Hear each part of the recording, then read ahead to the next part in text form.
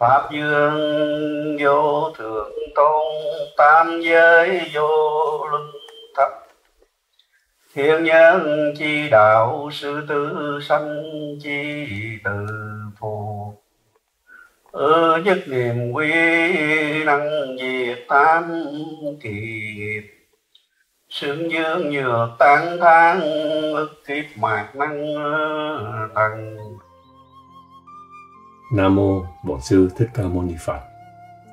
We start the lecture with the reading of the sutra. Subhuti. When a bodhisattva does work for the benefits of beings, he should not have the thought of being a giver or someone as a receiver. The Tathagata declares that all forms are not really forms. Similarly, all living beings are not really living beings, but temporarily called all beings. A Phật.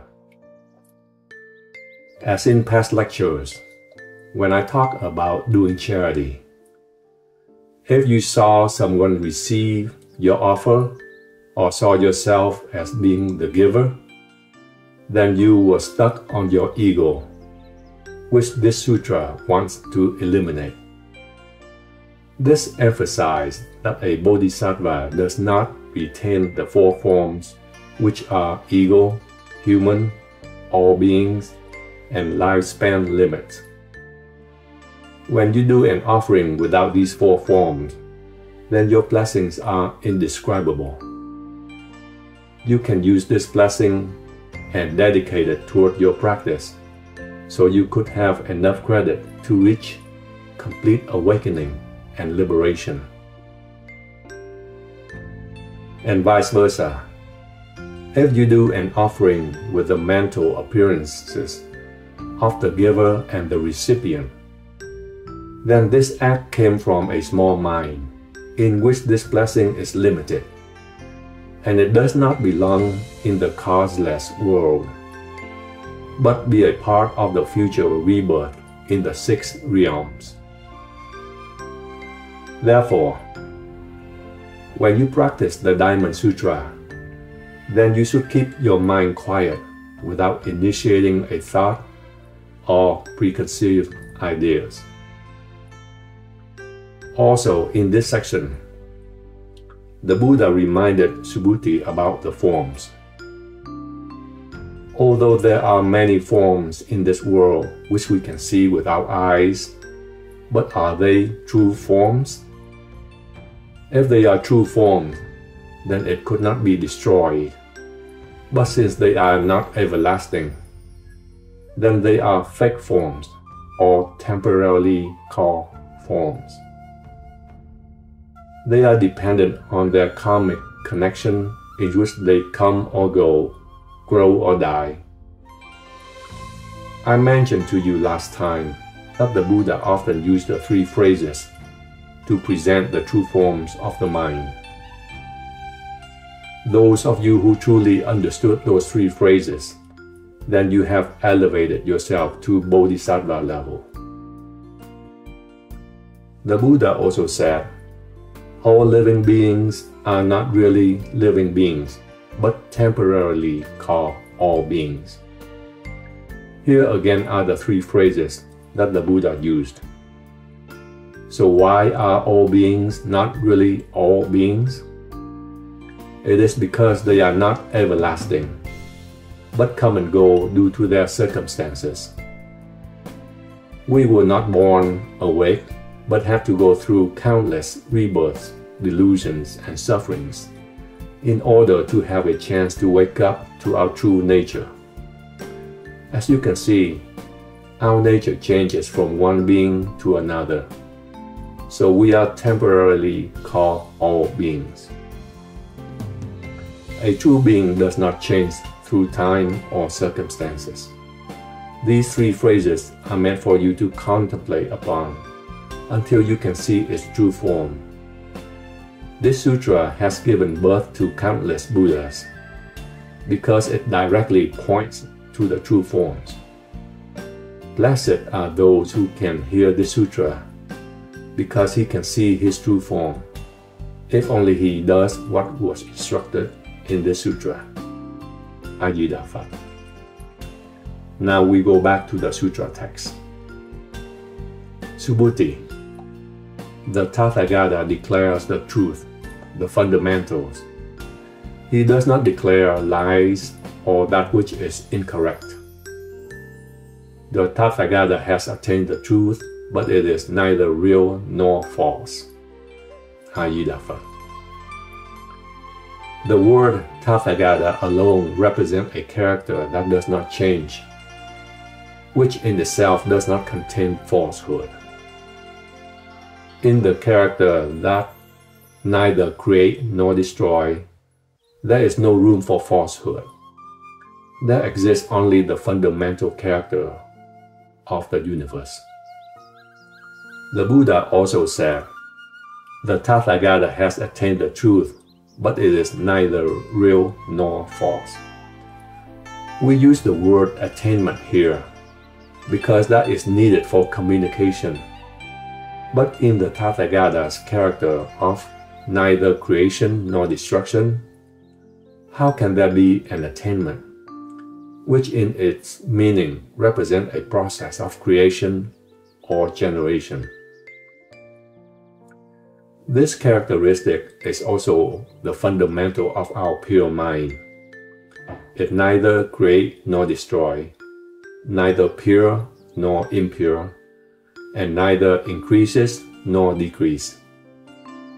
As declared in the Heart Sutra, which most of you recite each night. So when someone said that he practiced and has attained something, he is only using words to temporarily describe. But in reality, the pure mind does not attain anything. If you want to enter the pure mind, you have to do the actual practice.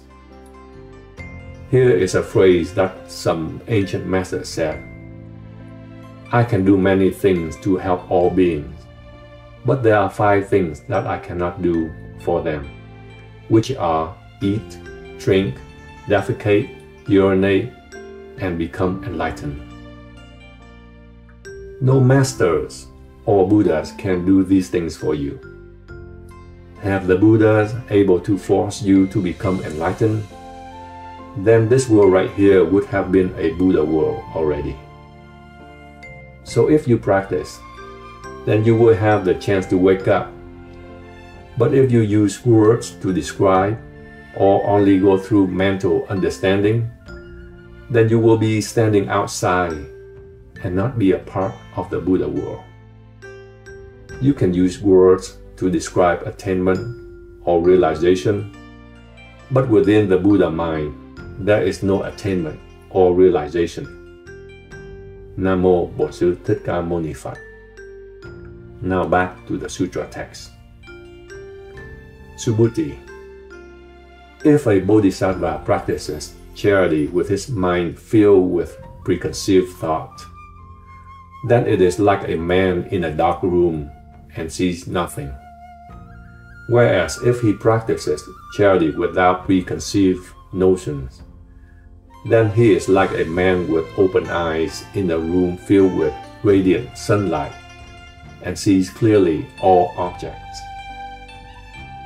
Namo Thích Ca Mâu Ni Phật. Here is the third time the Buddha reminded us how to practice charity. If the person who practices charity still recognizes the giver and the recipient, then he is still deluded by his ego, covering up his diamond prajna wisdom. He is like someone who has entered a dark room. This means that even though you did the charity, but the blessing from it could not open up your prajna wisdom. This is a limited blessing, not an unlimited blessing. A person who enters a dark room does not have the wisdom to recognize the true character of his mind However, if that person practices charity but does not have the four wrong views of ego entity, human, other beings, and lifespan limit biases. Then he has attained the diamond prajna paramita focus, which would allow the true form of your mind to appear right away. He has entered his inner mind and saw the true forms of all things. It is like someone who saw clearly everything in the room once the light was turned on. This is an important concept to learn, which was why the Buddha mentioned it for the third time already. If you can eliminate these four wrong views, then your compassion for all beings will have no limit. Whereas if these views still remain, then it is the source of greed, anger, and ignorance, which delude your mind and trap you within the sixth world of rebirth. Namo Ajidapha. Now back to the sutra text. Subhuti. The Tathagata uses the Buddha wisdom, knows for certain in the future if there are good men or women who study, understand, and recite this discourse, the immeasurable blessing will be fruitful. Namo Phật. This is the sixth time that the Buddha reminded us about immeasurable blessings bestowed on those who understand, practice, and recite the sutra. Of all the blessings, None is more important than the one involving the understanding and practice of the teaching in this Diamond Sutra. Earned blessings or merit, công đức, are generated by the understanding and implementation of the precepts, whereas the fortunate blessing, phước đức, are generated by charitable acts, which could bring you blessing that you can use within the worlds of your future rebirth. Fortunate blessings cannot help you achieve supreme wisdom or enlightenment. Earned blessings are derived from your character development and meditative practices, which are unlimited in nature and transcend beyond the grasp of rebirth. You all should study understand and practice the teaching of this sutra.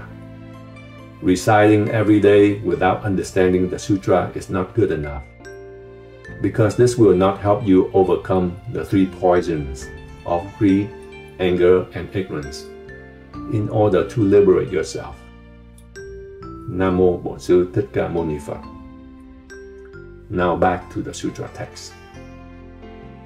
Subhuti if there is good men or good women who in the morning use his life as much as the sands in the Ganges River to sacrifice in charitable acts, and as much in the noontime, and likewise as much in the evening time, and continuously doing so for millions of ages and then compare this to someone who listens to this discourse and believes without doubt, then the latter is more blessed than the former. It is even more incomparable if the latter could write, understand, recite, and explain it to others. Nam Mô Thích Phật. As you all have heard, this is the seventh time that the Buddha has praised the blessing of the sutra. I have also explained before the blessings of those who gave in alms the seven treasures in great quantity as the great chiliocosm, but still are not as blessed as those who understood and practiced the sutra. Why is that? You should all remember that this is a Mahayana Sutra that can reveal the Buddha nature of each being. And only those who have practiced in the past could have enough karmic connection to understand and follow this sutra.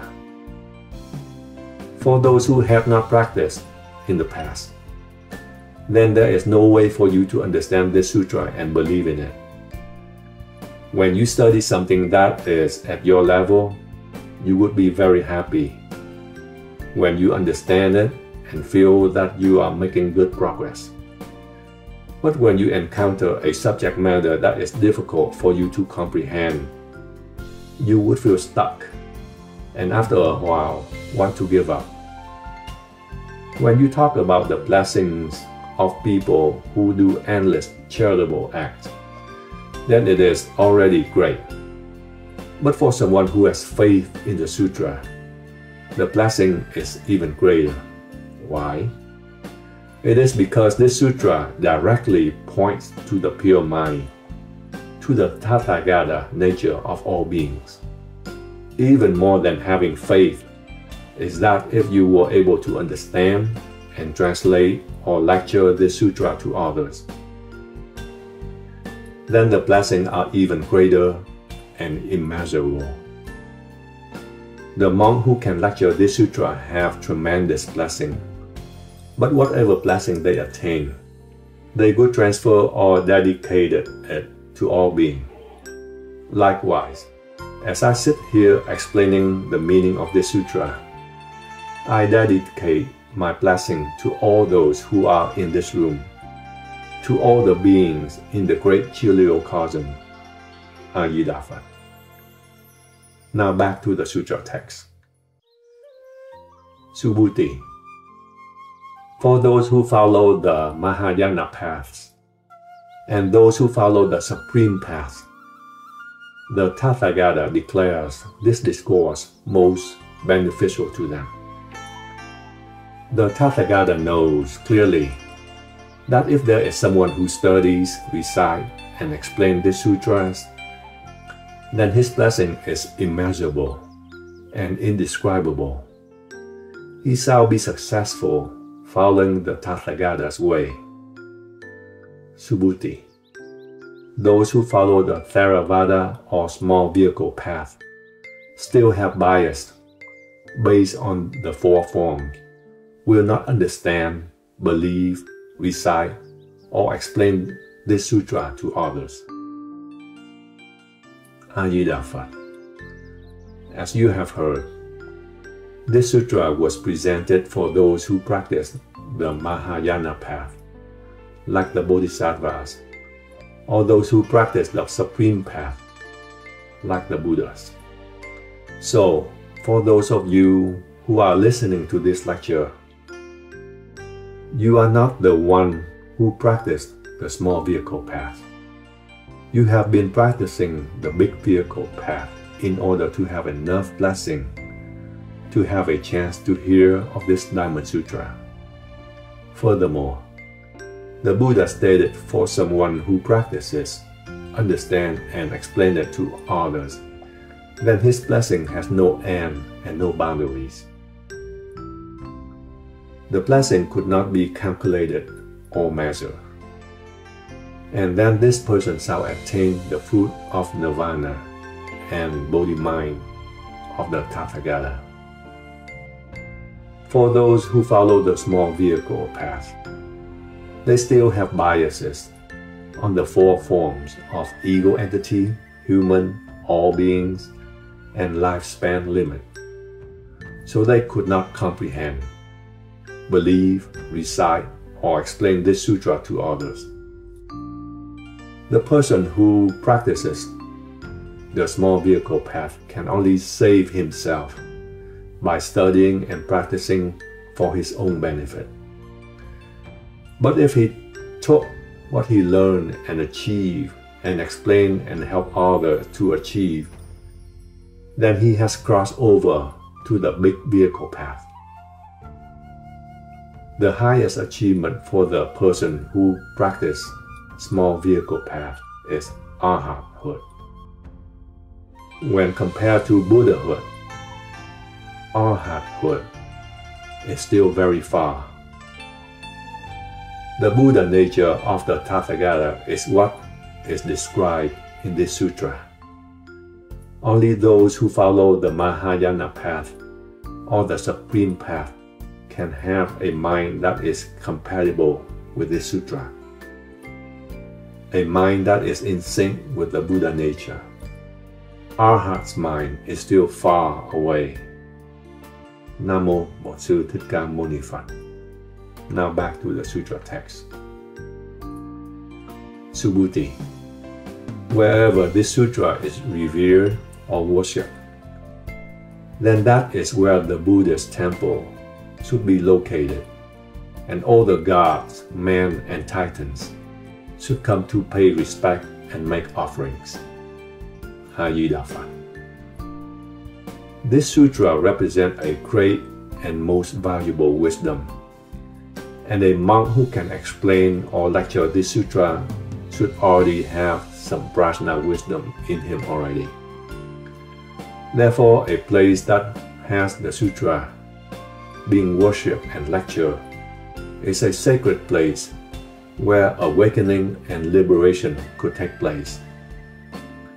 This sutra represents the highest truth, which can help not only man but gods and titans as well. They all want to come to learn and improve themselves through the understanding of this sutra. All of you here in this room have the Mahayana mind who want to learn and be awakened to liberation. Likewise, the gods and titans also want to be liberated by the teaching of this sutra, so they will be most respectful and supportive to any place that has the sutra explained or worshipped. I knew of several monks who, all of their lives, practiced and studied no other sutra beside this Diamond Sutra. The day they die, they enter a high level of their practices. If you are willing to make an effort to practice the teaching of this sutra, then for the beginners, it probably takes three years, while for the advanced, it probably takes one year to understand the true meaning of this sutra. The 33rd Zen patriarch, Huineng, relied on this Diamond Sutra to fully realize the deepest character of the true form. The blessing derived from this sutra is supreme.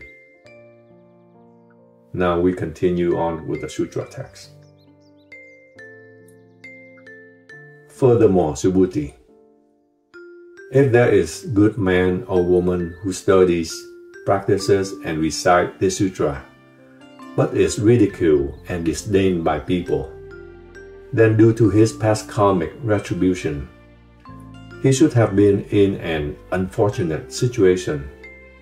But instead, due to his practices and negative perception from others, his bad karma is now erased and he can attain supreme enlightenment. Namo Bổn Sư Thích Ca Mâu Ni Phật. As you all should know, after you have practiced and become a monk for a while, then you would have attained good blessings already. And when you speak, most people would respect your commitment and virtues and want to be near you in order to learn more Buddhist teachings. But this section said the opposite, where you are a monk and have studied and practiced the sutra teaching, and yet was ridiculed by others. Then this disdain by others was the result of the blessings you gained from studying and practicing the sutra's teaching, alleviating your negative karmic deeds of the past. You should be happy to be disdained by others, because this shows your karmic debt was great, and you were supposed to be in a dire situation in this life. But now you have overcome it with your practice. Once your past debts have been eliminated, then your merit will start to grow positively and help you to realize the Bodhi mind. If you are on the path, don't be sad when things do not go your way, because you are evolving and paying your debts and will eventually get better.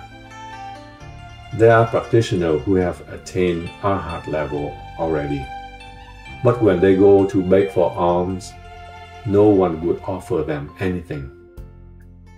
This is an example of karmic debt, or did not attain enough merit in past life with fellow beings. So in the following lifetime, he got no offering. Similarly, there are masters who were enlightened and living in the temples, but got no worshippers coming by to support them. They would sometimes do Dharma teachings for the gods or spirit to hear, since no humans were stopping by. This is an example of not enough blessing or karmic connection with fellow beings. So don't feel despair when things don't go your way. The higher, the farther you go, the more pressure you will get to test your faith and commitment. As long as you are truly practicing and persevere, you are evolving for the better. Ayidafa. Now back to the sutra text. Subhuti in the last period of the Buddha Kalpa. If a good man or woman studies, practices, and recites this sutra, his blessing would be complete. But the hearers would not understand, have doubts, and not believe. Subhuti. You should know that the deep meaning of the sutra cannot be debated, and likewise, its blessing is beyond discussion. Ayidafat. This is the twelfth time that the Buddha reminded us of the great blessing that come out of the sutra if studied and practiced. This blessing is so great that he continued to pray so that all beings can be motivated to learn and practice. He mentioned it the first time, but was concerned that all beings would forget.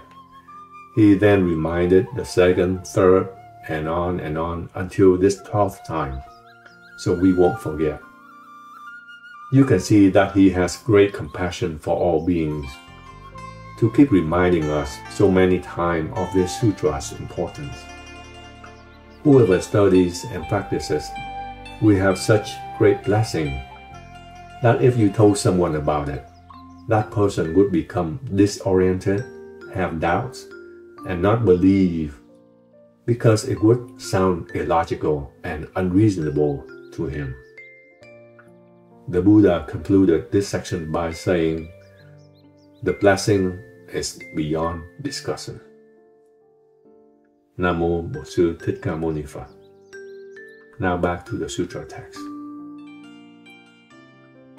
At that moment, Venerable Subhuti asked for the second time, World-Honored One, if a good man or good woman inspires to seek the supreme enlightenment, how should he abide and how should he control his mind?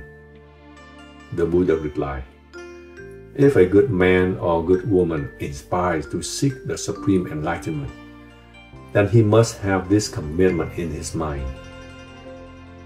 I must liberate all beings. And once they have all been liberated, I saw no being yet liberated. Why is that? Subhuti. If a bodhisattva still sees ego entity, humans, all beings, and lifespan limit, then he is not a bodhisattva. Why? It is because in reality, there is no method to attain the supreme enlightenment. Namo Phật. This is the second time that Venerable Subhuti brought up these questions. In reality, for an arhat like Subhuti, whatever the Buddha said, he could understand. But because he wanted to help future beings to clearly understand, he brought it up again. The Buddha said that when we practice, we should not only save ourselves, but must save all beings without discrimination, of who is good or bad, religion or racist. As long as that being has the karmic connection to know you and could hear and practice what you recommended, then you are obligated to help him. And in the process of using all dharmas to help, you should not think that you are helping him and that he is your student. If you do think that way, then your mind is at a low level, because that is not the mind of a bodhisattva, but is the mind of a commoner. If you help but you don't see the helper or the one being saved, then that is a bodhisattva, because you are not seeing the four forms. If you declare that you are a bodhisattva, then you are not a bodhisattva because bodhisattva does not see the four forms. If you have taken the bodhisattva precept, then you are just a bodhisattva in name only, not a real one. Even when you said that you want to seek the bodhi mind and think that there is a method to do this, then you are not in sync with the Tathagata's mind. A bodhi mind is just a word to describe. There is no such thing. Similarly, a pure mind, a Buddha mind are just words to describe to someone who is talking with you, so he could understand. You yourself should not be stuck on those words. Namo Sư Thích Ca Phật. Now back to the sutra text. Subhuti, what do you think? When the Tathagata was with Dipāṅkara Buddha, was there a method for attaining the incomparable supreme enlightenment? World-Honored One. No, from my understanding of the Tathagata's teaching, there was no formula for attaining the incomparable supreme enlightenment. When you were with the Dipāṅkara Buddha, the Buddha said, Correct correct. Truly, there was no formula which the Tathagata used to attain the incomparable supreme enlightenment.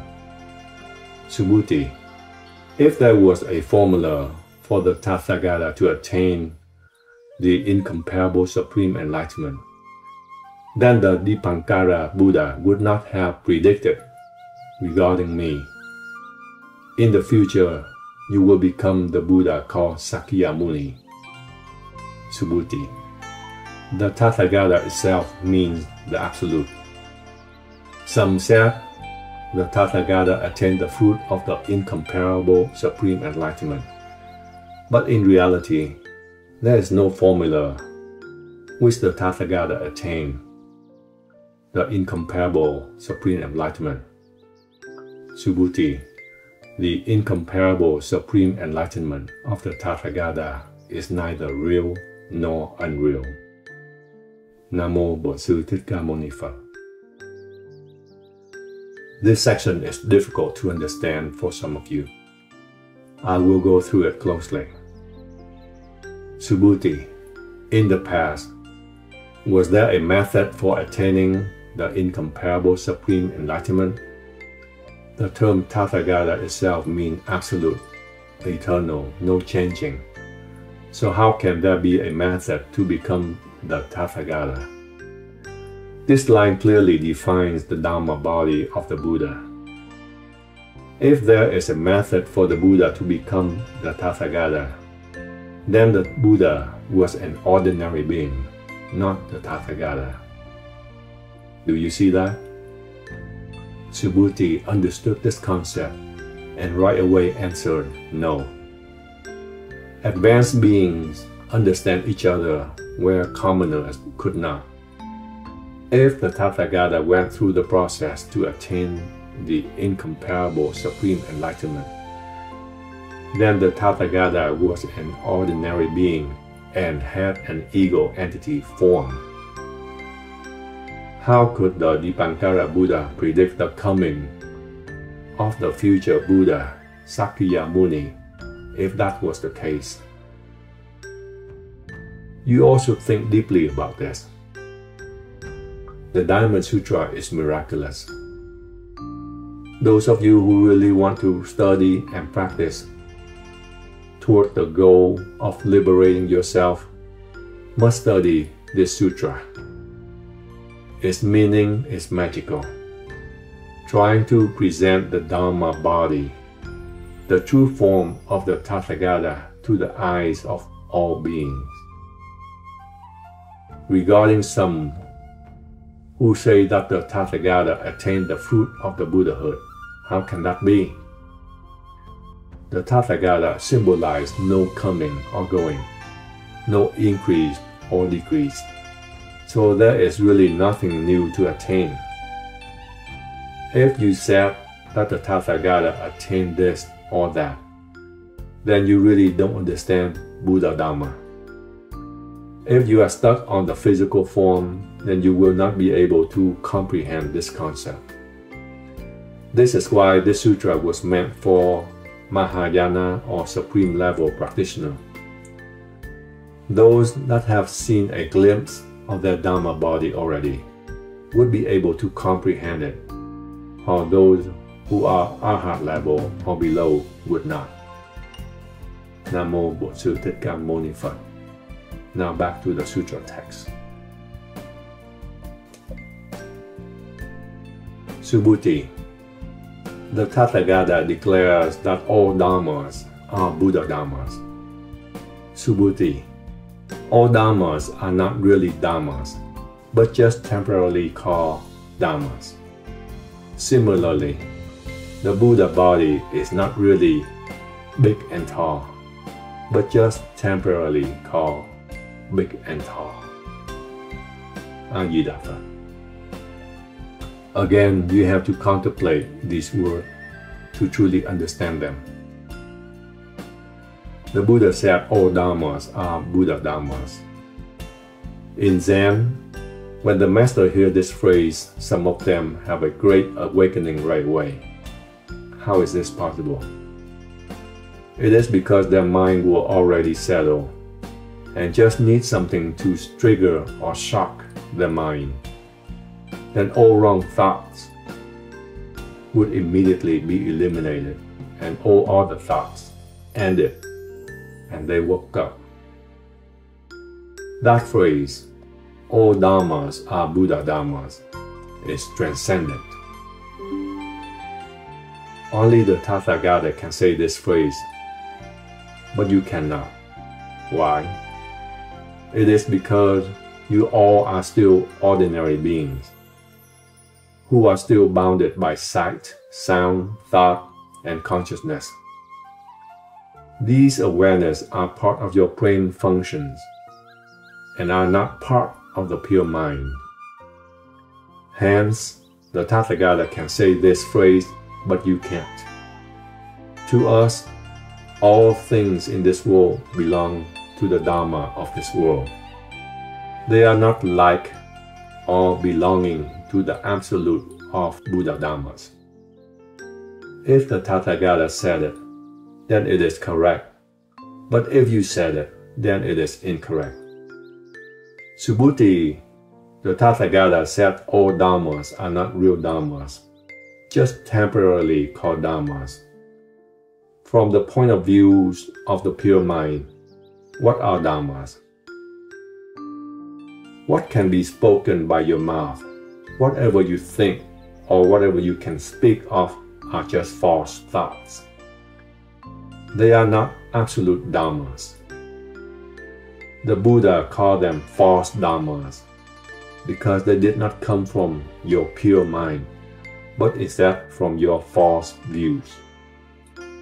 The Tathagata said the Buddha's body is not big and tall, but temporarily called big and tall. Here the Buddha was referring to the reward body of the Buddha, which is as big as Mount Sumeru. Only the great Bodhisattva or higher can see the great Buddha body. The others won't be able to. Yet, the Buddha said this great reward body was just a name. there is nothing big and tall. Everything has its limit, and whatever has limitation has a false and temporary name. The Dharma body of the Buddha would truly be big and tall because it was immeasurable. Nam mô Bổn Phật.